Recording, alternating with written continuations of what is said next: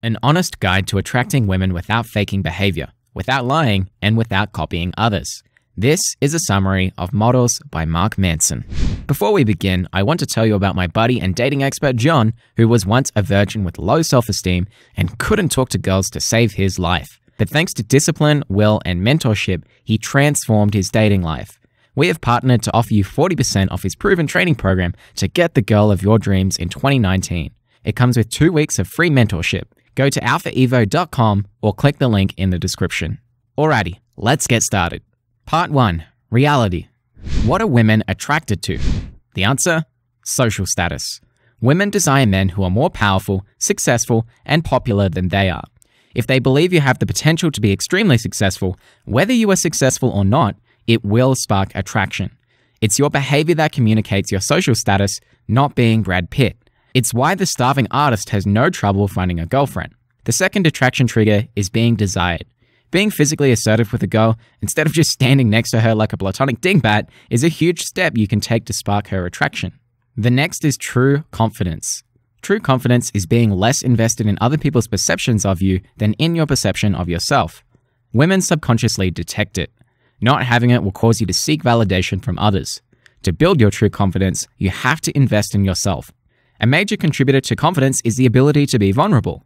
Not the petty complain and whine and cry to your girlfriend kind of vulnerability. It's the ability to put yourself out there and go, I don't care what you think of me. This is who I am, and I am okay with it.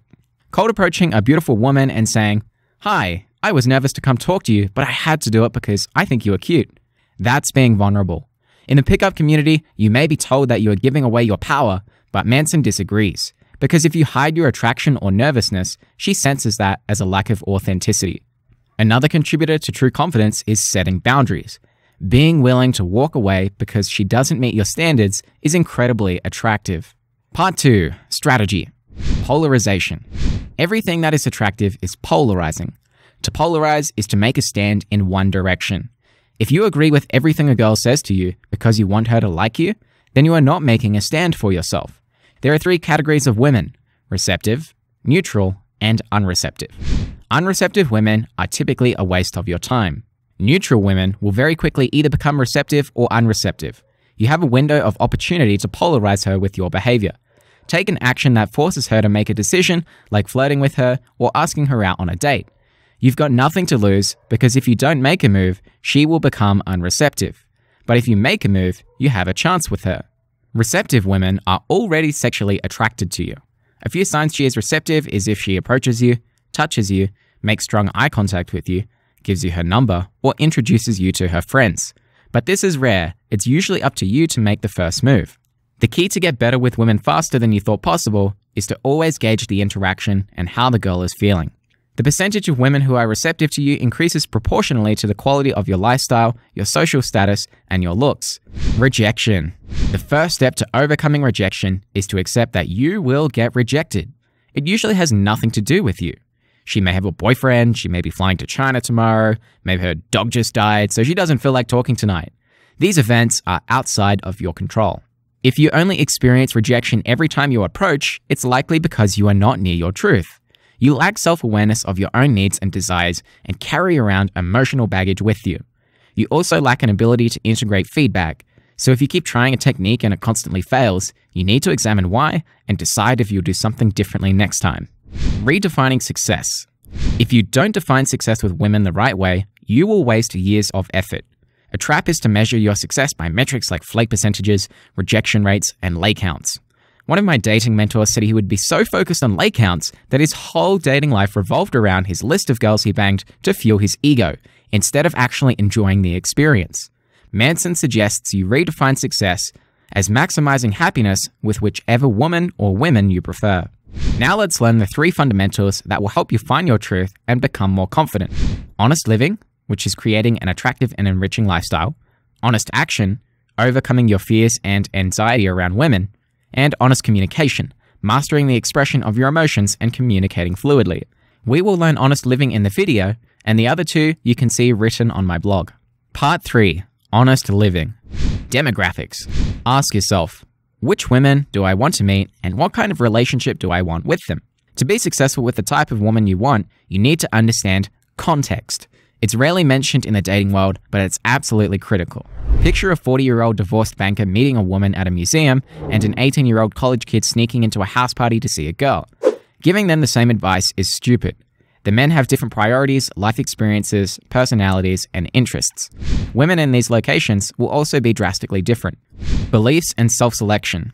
If you believe all women are sluts and untrustworthy, then you will only attract women who are sluts and untrustworthy. If you believe women are beautiful with exciting personalities, you get the picture. Age, money, and looks. They matter. Not a lot, but they still matter. And anybody who tells you otherwise is lying or ignorant. You don't have control over your age, but us men are lucky because our physical attractiveness peaks at 31, but for women, it's 21. Money you do have control over, it just takes a different way of thinking, execution, and patience to get out of a crappy financial situation. And looks, you have a huge amount of control over. Studies show that style, grooming, and how you present yourself is more important than your physical dimensions like your oddly shaped jawline. Heck, you can even disguise your oddly shaped jawline by growing and trimming a beard in a particular way. Race and the foreigner effect. You can automatically increase your attraction by going to another country where you are considered exotic. As I speak right now, I am in Colombia and get many positive reactions from women when I cold approach them, partly because I am considered the exotic Australian. Attracting the top 1%. The top 1% of beautiful women in the world rarely settle for a man who is not the whole package. They are more receptive as to whether you are confident or not, and 99% of men desire them, whereas regular women are desired by 50% of men. To attract them, stop caring about how beautiful they are and talk about anything with her apart from her looks. There's not that much difference between them and other women except your own thoughts about them. How to be attractive. Appearance. Start grooming and maintaining yourself. That means showering, shaving, wearing deodorant, and brushing your teeth. Wear clothes that match, clothes that fit, and clothes that match your personality. And get in shape. When you do these things, your dating life will literally become three times easier. Body language. Stand straight with your shoulders back. When you are out on the street, look people in the eye and maintain eye contact until they break it. It may feel weird at first, but this will train you to be more aware of people's reactions to you. Vocal tonality. Speak louder and also speak from your chest, not from your mouth. This will make your voice deeper. Do this fun exercise with me. Say, Why don't you come to the party with me?